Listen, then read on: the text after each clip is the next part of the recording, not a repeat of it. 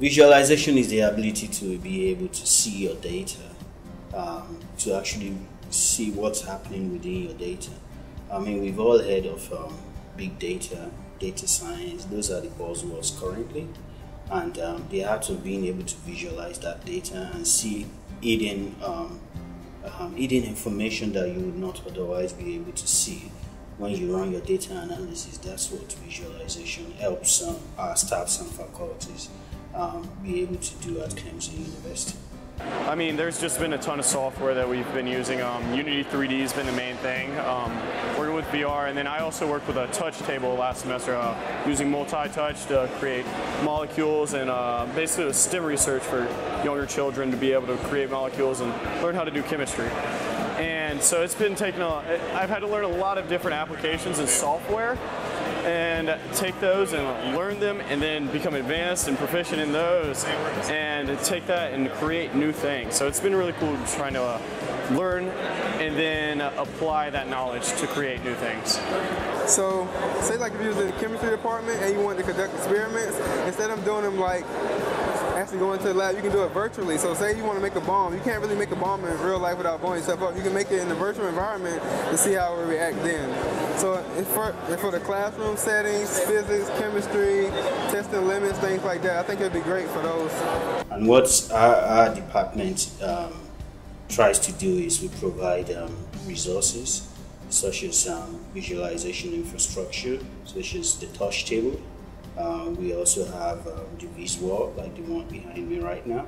We also have the 3D video walls that are available in the Watts Innovation Center that we use um, to demonstrate our um, um, staff's staff research, our research, and um, we also have um, head-mounted displays, which are the Oculus Rift, the Microsoft HoloLens, and these are um, interesting devices that are just coming to the market, interesting virtual reality devices just coming to the market. Um, it's uh, extremely interesting, very innovative, and um, we, we're very glad to be at the cutting edge of this type of technologies.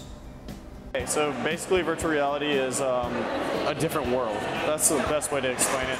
Um, you put on a headset and you're completely somewhere else. Um, they can do 3D rendering with it. You can create your own models, all that sort of thing. So personally what we've been working on, um, Joseph actually, uh, he created an, uh, a 3D tour of Littlejohn, the new Littlejohn Coliseum. And that was the first big project and he'd already been working on that when I came on. Um, and then now currently where he's actually starting a driving simulation using VR. Um, and I'm helping write the code with that as well. But he uses a new uh, technology, Leap Motion, so that you'll actually be able to pretend to drive the car without a wheel or anything, just with the headset on. It's really interesting there. Um, the growth of VR within um, with with interest in, from Facebook, Microsoft, Google. I mean, these are major companies to name a few it's very it's been very great for us because initially we would be conducting research in a, what you call a cave. This is a, a big massive display that costs um, thousands thousands of dollars. I mean, at one point, probably half a million you could easily spend on it. Um, um, but now, with the virtual reality assets coming in at just um, a couple of hundreds, it means that we're able to showcase the um, uniqueness, um, the wow factor that this research has.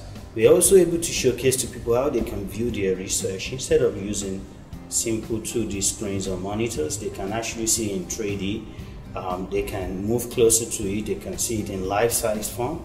Um, this has really given us um, uh, a new way to reach people that we would not be able to reach.